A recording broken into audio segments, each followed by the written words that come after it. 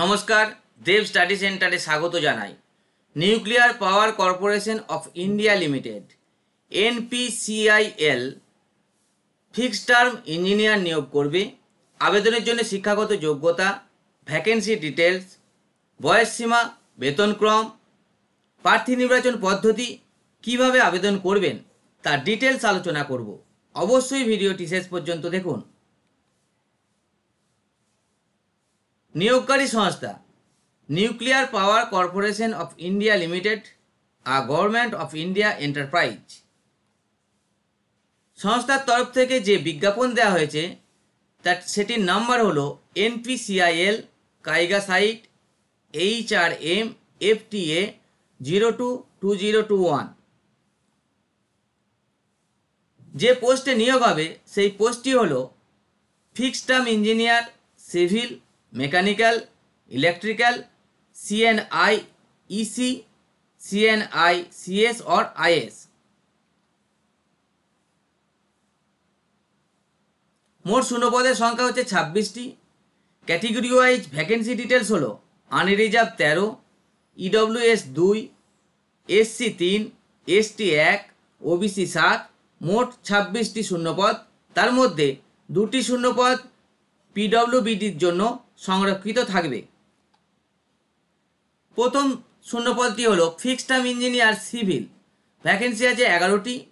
এক্ষেত্রে শিক্ষাগত যোগ্যতা graduation BE or BTech or BSc engineering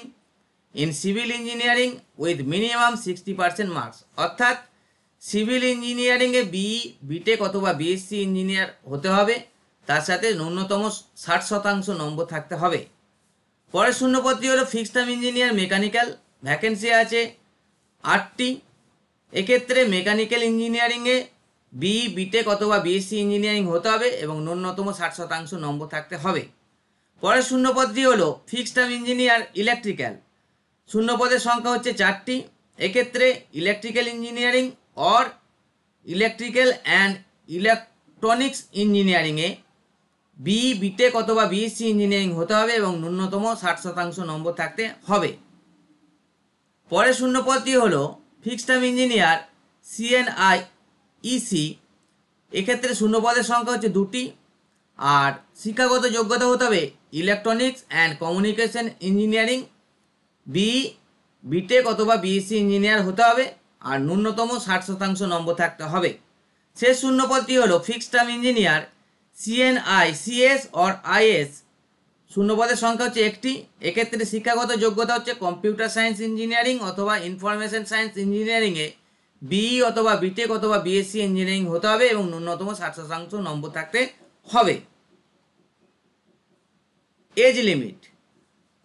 সাত উনত্রিশ সাত দু হাজার একুশের হিসাবে বয়স হতে হবে সর্বনিম্ন আঠেরো বছর এবং সর্বোচ্চ পঁয়ত্রিশ বছর মনে রাখবো এসসি এসটিরা পাঁচ বছর ওবিসিরা তিন বছর এবং অন্যান্য সংরক্ষিত প্রার্থীরা সরকারি নিয়ম অনুযায়ী বয়সের ঊর্ধ্বসীমায় ছাড় পাবেন বেতনক্রম হল একষট্টি হাজার চারশো টাকা প্রতি মাসে প্রার্থী নির্বাচন পদ্ধতি পার্সোনাল ইন্টারভিউর মাধ্যমে যোগ্য প্রার্থী নির্বাচন করা হবে কিভাবে আবেদন করবেন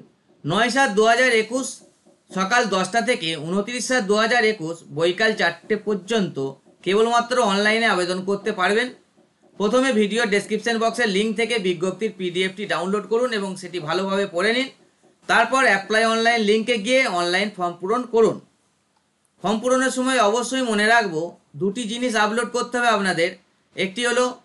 recent passport size photograph four point four centimetre into five point eight centimetre যেটি জেপিজি ফরম্যাটে হতে হবে এবং তার ফাইল সাইজ পঞ্চাশ কেবির কম হতে হবে আর একটি সিগনেচার আপলোড করতে হবে ব্লু অথবা ব্ল্যাক কালির যেটি জেপিজি ফরম্যাটে হতে হবে এবং যার ফাইল সাইজ কুড়ি কেবির কম হতে হবে ফর্ম পূরণের পর ফাইনাল সাবমিশন করার পর অবশ্যই অ্যাপ্লিকেশন ফর্মটি প্রিন্ট আউট করে রাখবেন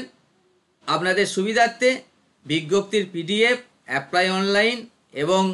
অফিসিয়াল ওয়েবসাইটের লিঙ্ক ভিডিও ডেসক্রিপশন বক্সে দিয়ে দেবো ভিডিওটি ভালো লাগলে লাইক করুন চ্যানেলটি এখনও সাবস্ক্রাইব না করে থাকলে সাবস্ক্রাইব করে নিন পাশে থাকা বেল আইকনটি অন করে দিন লেটেস্ট আপডেট পাবেন এবং ভিডিওটি সকলের মধ্যে শেয়ার করুন ভালো থাকুন সাবধানে থাকুন বাই